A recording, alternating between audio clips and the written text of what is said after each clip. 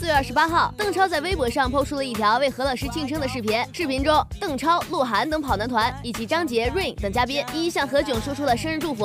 不知道何老师看到会不会幸福死啊？何老师，这个世界上年龄最小、颜值爆表、最年轻、我们最爱的何老师，生日快乐！啊，何老师，祝你越来越年轻，跟我一样颜值爆表耶！何老师，生日快乐！希望你能越来越。